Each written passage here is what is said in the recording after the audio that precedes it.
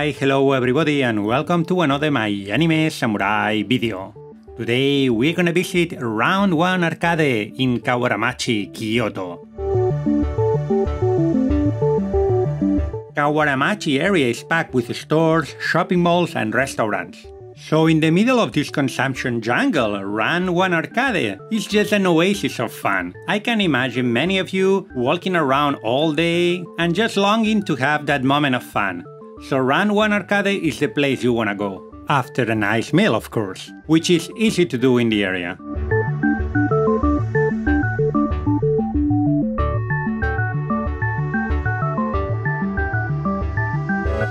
Round 1 Arcade has many floors where you can find karaoke, billiards, bowling, arcade of course, and many more.